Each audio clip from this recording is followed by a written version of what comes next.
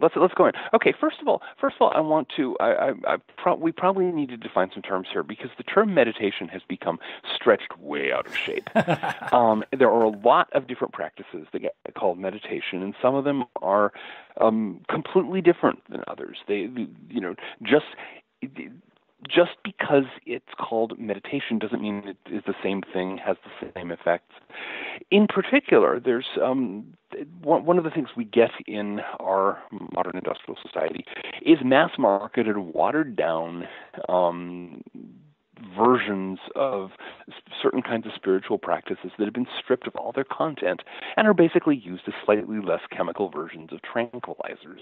Um, a lot of what's being taught these days is mindfulness meditation is a great example. Mm, yeah. um, mindful mindfulness meditation, as it's taught in the traditional Buddhist schools, that, that, that, where it's their, one of their major practices, that's powerful stuff, but it exists in a context. There are other exercises that are combined with it. You're also studying Buddhist philosophy. You're also, you know, study, there's there are various practices and disciplines, and it all sort of works together to become a powerful instrument of of, of, spirit, of opening yourself up spiritually.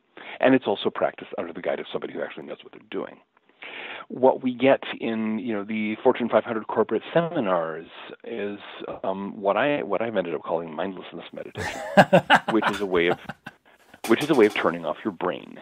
You know, you just every thought rises and you just wave goodbye and let it go. Well, yeah, people do that too much already. Although I think it's mostly when they're watching TV.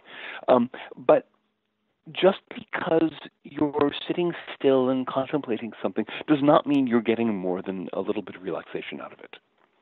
There are, again, many different kinds of meditation. Um, some of them use do do a lot of work on on um, concentration, visualization, things like that. Some of them do not. Um, and again, it depends on context and on where you want to get to.